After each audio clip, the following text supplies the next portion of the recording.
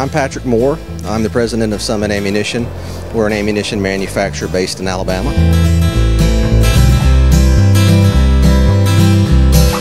Oh yeah, the way we got started, we were a uh, primarily just bought and sold imported ammunition, surplus ammunition. So we, uh, I got interested in 50 BMGs and I purchased a transferable uh, Curio and Relic gun.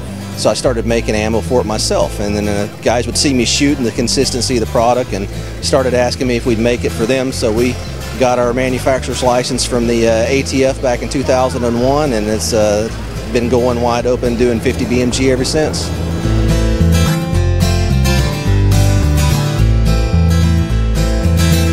Um, our pride in the quality of the products that we manufacture, we try to focus on quality and make sure that, uh, that it meets every standard that we can come up with.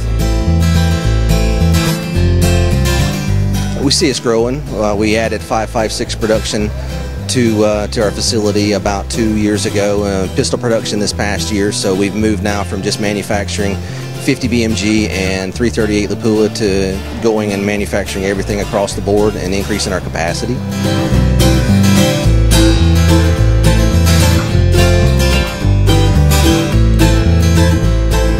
My name's Patrick Moore and I'm the president of Summit Ammunition and uh, I appreciate the guys here from Funker Tactical stopping by and interviewing me. It's been great to meet them and look forward to doing some other stuff with them over the next few years.